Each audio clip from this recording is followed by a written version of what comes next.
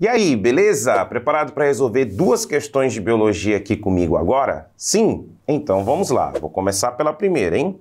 A política dos três R's é uma medida criada para que as pessoas diminuam a produção de lixo.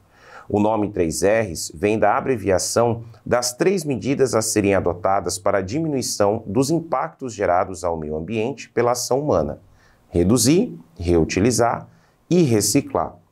Uma das ações dessa política, por exemplo, é a de reutilização da água empregada na lavagem de roupas para a lavagem do quintal.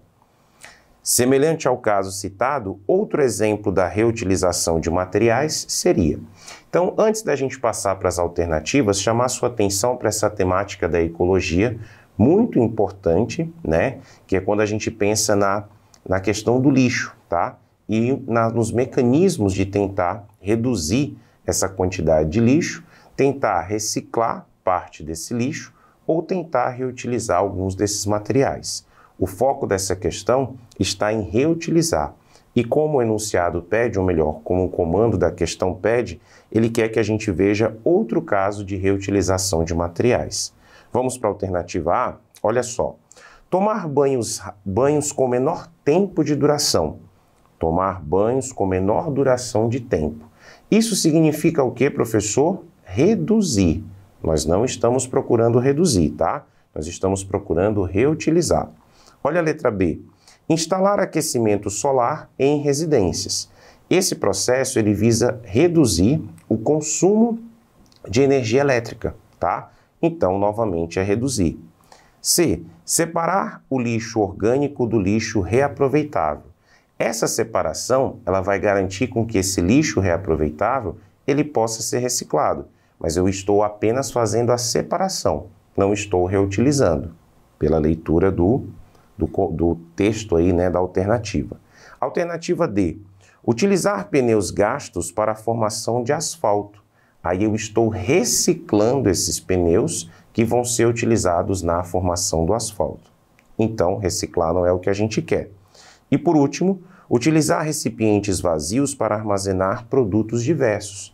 Aí nós estamos falando em reutilizar, né? Quem nunca aqui fez a reutilização de vidrinhos, por exemplo, de determinados é, produtos, né, que vêm dentro de frascos de vidro, para de repente acondicionar depois algum outro tipo de material na sua casa, né? Utilizar, por exemplo, os, o, a embalagem ali de requeijão para depois usar como um copo com água. Então, isso é reutilizar. Sendo assim, confirmando, a alternativa correta é a letra E. Vamos passar para a próxima questão? A próxima questão ela começa dizendo assim: ó, no mercado há um novo teste desenvolvido por pesquisadores que pode identificar o tipo de sangue de um paciente em apenas alguns segundos. Para criar o teste, os cientistas usaram reações químicas entre um corante comum, anticorpos do soro sanguíneo, conhecidos como aglutininas, e proteínas das hemácias, os aglutinogênios. Aplicar uma pequena amostra em uma tira de teste contendo em cada ponta a substância capaz de reconhecer as diferentes proteínas presentes nos tipos sanguíneos. Os resultados da reação apareceram como alterações de cor visual, verde para positivo e marrom para o negativo.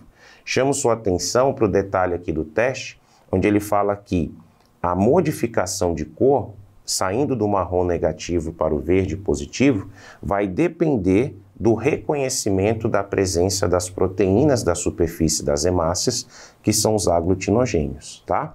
Resumindo um pouquinho do texto de apoio. Vamos para o comando da questão?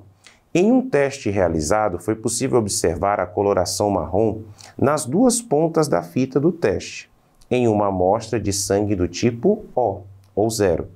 Isso ocorreu devido a.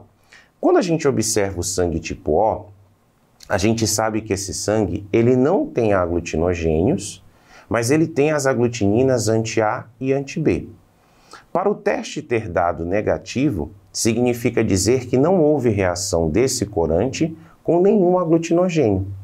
E isso é o que a gente vai encontrar justamente aonde? Olha a alternativa A.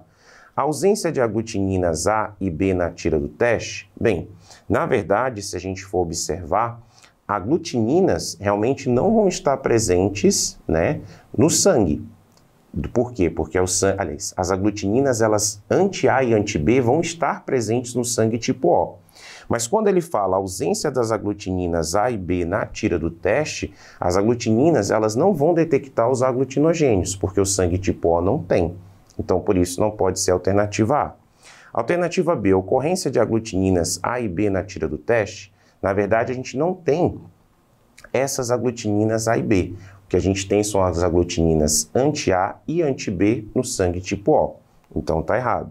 Alternativa C, Presença de aglutinogênios A e B na tira do teste. Não, o sangue tipo O ele não tem aglutinogênios. Letra D, inexistência de aglutinogênios A e B na amostra de sangue. Realmente, o sangue tipo O não tem aglutinogênios. E letra E, existência de aglutininas anti-A e anti-B na amostra de sangue. Na verdade, o teste ele não vai detectar as aglutininas, ele iria detectar os aglutinogênios e por essa razão não foi detectado e a coloração ficou marrom. Tranquilo? Continue mandando ver nos estudos. Um forte abraço. Tchau.